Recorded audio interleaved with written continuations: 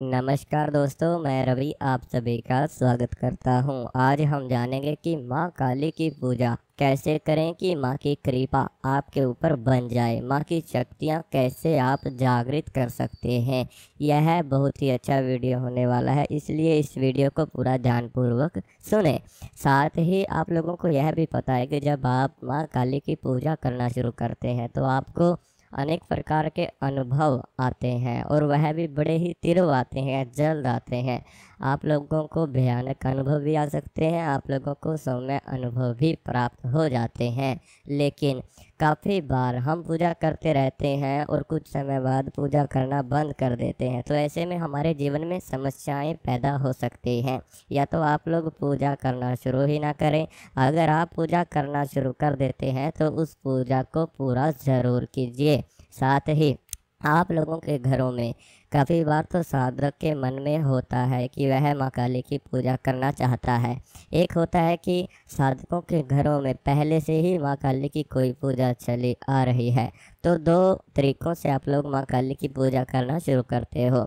मान लीजिए कि अगर आप अपनी ही इच्छा अनुसार माँ काली की पूजा शुरू करना चाहते हैं तो आप लोगों को सबसे पहले गुरु की आवश्यकता पड़ती है, क्योंकि आप लोगों को पता ही नहीं होता जब कुछ किसी भी विधि के बारे में या फिर किसी भोग के बारे में या फिर किसी भी प्रकार से आपको नहीं पता है कि माँ काली की पूजा कैसे की जाती है तो आपको पहले सीखना होगा। आप लोग भक्ति समय भक्ति अपने घर में कर सकते हैं, लेकिन काफ़ी साधक, तामसिक भोग खुद ही देना शुरू कर देते हैं बिना गुरु अनुमति से और बिना गुरु से ही। और इन बातों का आप ध्यान नहीं रखते हैं और तामसिक भोग देना शुरू कर देते हैं कि मैं माँ काली को जल्दी जागृत कर सकता हूँ। तो ऐसा कुछ भी नहीं है कि तामसिक भोग से माँ जल्द प्रसन्न होंगी और सात्विक से नहीं होंगी। मैं आप लोगों को एक बात बताना चाहता हूँ कि अगर आपने खुद ही पूजा करना शुरू किया है, चलो आपके मन में एक भाव आ जाता है कि मुझे माँ काली की पूजा करना है। मैं अपने घर में माँ काली की पूजा करना चाहता हूँ तो ऐसे में आप लोगों को गुरु बनाना बड़ा ही अनिवार्य होगा, क्योंकि वही आप लोगों को सिखाता है, वही आपको बताएगा कि आपको आगे क्या करना है। और आप लोगों को या फिर किसी साधक के सानिध्य में चलना होगा, किसी साधक के पास रहना होगा जो आपको गाइड करता रहे समय समय पर। क्योंकि आप लोग खुद ही पूजा करना शुरू करते हो, फिर कुछ सालों बाद, कुछ समय तो आपके लिए अच्छा रहता है क्योंकि आपका विश्वास उस पूजा के लिए जागृत होता है। लेकिन कुछ समय बाद आपके मन में जैसे विश्वास कम हो जाएगा क्योंकि आपको ऐसा हुआ कि मेरे साथ कुछ हुआ नहीं, मेरे साथ कोई अनुभव नहीं हो रहा है। मेरे साथ ये बुरा हो रहा है, मेरे साथ वो हो गया है। तो ऐसे में जब आपके साथ ऐसा होता है तो आप पूजा करना बंद कर देते हो। या फिर किसी और अन्य देवी देवता की पूजा करना शुरू कर देते हो तो यहीं से आप लोगों का भटकने का जो समय है, वो शुरू हो जाता है। तो इसीलिए गुरु बनाना अनिवार्य है। चाहे आपके साथ अच्छा हो या बुरा हो, लेकिन आपको जो आपके गुरु ने बता दिया है, उन्हीं चरणों पर चलना चाहिए।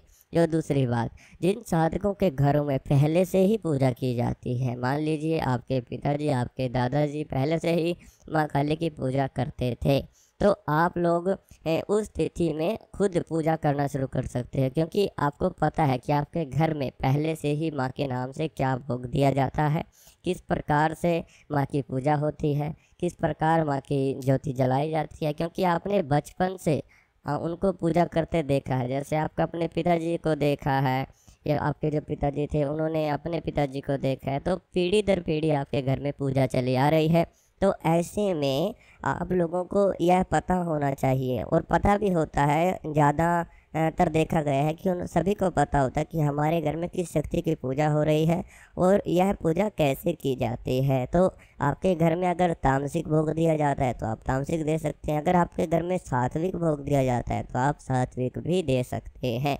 लेकिन जब आपके घर में पहले से ही पूजा शुरू होती है तो वही पूजा आप लोगों को देनी अनिवार्य है। वही भोग आप लोगों को देना अनिवार्य है, ठीक है? इस बात का आप लोगों को विशेष ध्यान रखना है। अगर आपके घर में माँ का सात्विक भोग दिया जाता है तो तामसिक भोग आप लोगों को बिल्कुल भूल कर भी नहीं देना है। इस बात को हमेशा याद रखना। अब बात आती है कि हमें गुरु बनाना चाहिए या नहीं? क्योंकि अगर हमारे घर में पहले से ही पूजा हो रही है तो क्या हमें गुरु बनाने की ज़रूरत है? तो जी बिल्कुल आपको भी गुरु बनाने की आवश्यकता है। क्योंकि जितना आपने देखा हुआ है या, यानी कि आपके जो पिताजी पूजा करते थे वो आपने देखा हुआ है। आपके दादाजी पूजा करते थे, वो भी आपने देखा हुआ है। लेकिन उससे आगे बढ़ने के लिए आपको गुरु बनाने की आवश्यकता पड़ती है, क्योंकि अगर आप भक्ति से भक्ताई की तरफ़ आ जाते हैं, तब भी गुरु बनाने की आवश्यकता बहुत अधिक पड़ती है, अधिक नहीं, अनिवार्य होती है। इस बात का विशेष ध्यान आप लोगों को रखना होगा। तो पहली तो बात ये हो गई कि दोनों प्रकार से पूजा अगर चलती है तो क्या अनिवार्य होगा?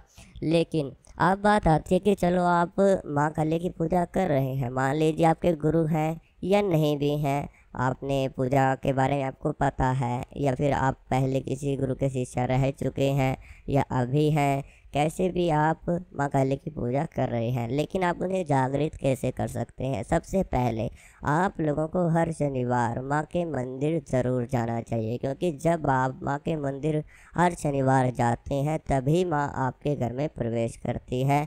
इस बात को विशेष ध्यान आपको रखना होगा, क्योंकि अगर आप लोगों को अंटाल आता है कि मैं माँ के मंदिर कल चला जाऊँगा या परसों चला जाऊँगा, आज नहीं हो पाएगा तो ऐसे में आपका विश्वास कमज़ोर होता है और विश्वास कमज़ोर होने पर माँ की कृपा भी आपसे दूर हटना शुरू हो जाती है। क्योंकि आप तो माँ को हमेशा बुलाना चाहते हो अपने घर पे, लेकिन अगर आप एक दिन भी, एक वीक में, एक दिन भी आप माँ के मंदिर नहीं जा पाते हो तो ऐसे में आपकी पूजा स्वीकार नहीं हो पाएगी। दूसरी बात, आप लोगों को वह भोग ज़रूर देना चाहिए जो आपके घरों में पहले से ही माँ काली को दिया जाता है। और अगर आपके घर में पहले से ही भोग नहीं दिया जाता तो आप लोग अपनी इच्छा अनुसार सात्विक भोग दे सकते हैं। आप लड्डू, बर्फ़ी या फिर कोई भी दूध से बना पकवान दे सकते हैं, आप हलवे का भोग दे सकते हैं। आप बताशे का भोग दे सकते हैं, आप लौंग का भोग दे सकते हैं, जो भी भोग आप देना चाहते हैं, वह भोग आप दे सकते हैं। लेकिन एक बात का विशेष ध्यान रखें कि आपको अग्नि पर ही माँ काली का भोग देना है, क्योंकि अग्नि पर दिया हुआ भोग स्वीकार तुरंत हो जाता है। इसलिए कोशिश करनी है कि आप अग्नि पर ही भोग दें। आप अग्नि बना सकते हैं, आप उपले की आग ले सकते हैं और घी से उस अग्नि को प्रज्वलित करने के बाद आप उसके अंदर भोग लगा सकते हैं। आपको शनिवार के दिन माँ काली का भोग ज़रूर लगाना है। आप किसी भी एक समय लगा सकते हैं, सुबह लगाएँ या शाम को लगाएँ तो ऐसा करना बहुत ही ज़्यादा ज़रूरी है। और जो माँ काली के भक्त हैं, उन्हें माँ के नाम से हलवा ज़रूर देना होगा। साथ ही आप मिठाई भी दे सकते हैं। चाहे तो आप सफ़ेद फूल भी माँ को दे सकते हैं। साथ ही बात आती है कि और क्या कर सकते हैं। तो आप लोगों को मंदिर में साफ़ सफ़ाई रखना बड़ा ही अनिवार्य है। जब भी माँ काली की आप पूजा कर रहे हैं तो आपको मंदिर की साफ़ सफ़ाई रखनी होगी। अपने शरीर की साफ़ सफ़ाई रखनी होगी। किसी के लिए भी आपके मन में घृणा नहीं होनी चाहिए। आप लोगों को स्वच्छ वस्त्र धारण करके ही रहना चाहिए।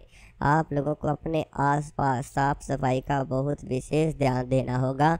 इस बात को हमेशा याद रखना।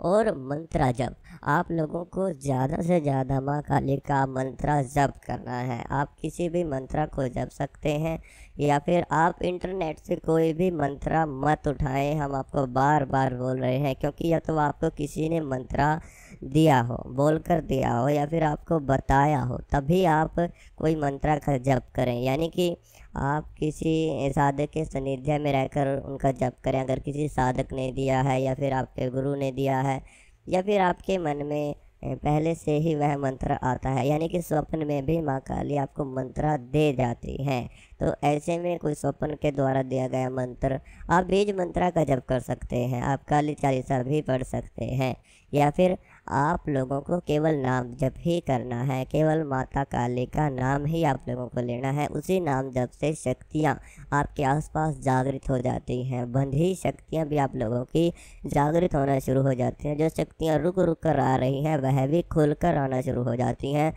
इतनी पावर शब्दों में होती है। और आप लोग एक बात का विशेष ध्यान रखें कि माँ काली की पूजा आप लोग ब्रह्म मुहूर्त के समय ही करें। जो ब्रह्म मुहूर्त का समय है, वो सुबह साढ़े तीन से साढ़े पाँच के बीच में होता है। और आप लोगों को कोशिश करनी है कि आप सुबह चार बजे माँ काली की पूजा करें, उनके नाम से दीपक जलाएँ, धूप अर्चना करें, उनका भोग दें और मंत्र जप के लिए बैठ जाएँ। जैसे जैसे मंत्रा जप की संख्या बढ़ती है वैसे वैसे आपके शरीर का तपोबल बढ़ता है। उस मंत्रा से आपके आसपास के वातावरण में ऊर्जा पैदा होती है और वही ऊर्जा आपके लिए कार्य करती है। और माँ काली आपके ऊपर जब प्रसन्न होती हैं तो अनेक प्रकार के अनुभव भी आप लोगों को आना शुरू हो जाते हैं। साथ ही अगर काफ़ी साधकों के साथ समस्या रहती है, घरों में समस्या रहती है, व्यापार में समस्या रहती है, आपके साथ में कोई समस्या हो जाती है, फिर पूजा में ही विघन आने शुरू हो जाते हैं। आपकी पूजा सफल नहीं हो रही है तो आप हमसे बात कर सकते हैं। बात करने के लिए व्हाट्सएप नंबर आपको स्क्रीन के ऊपर दिया हुआ है। आप उस व्हाट्सएप पर अपनी समस्या को बता सकते हैं। अपनी समस्या का समाधान तुरंत जान सकते हैं।